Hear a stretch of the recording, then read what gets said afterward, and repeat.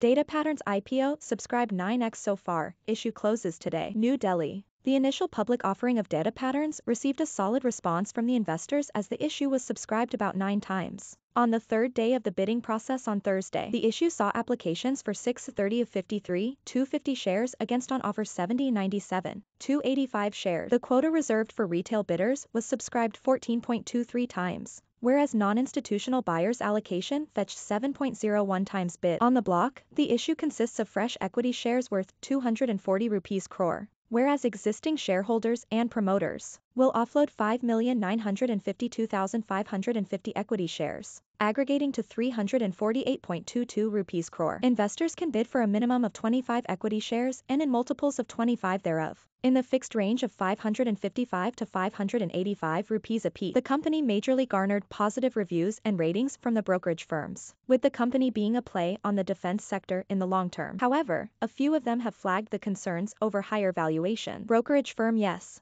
Securities has suggested to subscribe to the issue considering its reasonable valuations and complex components, allowing it to build a robust relationship with its customers.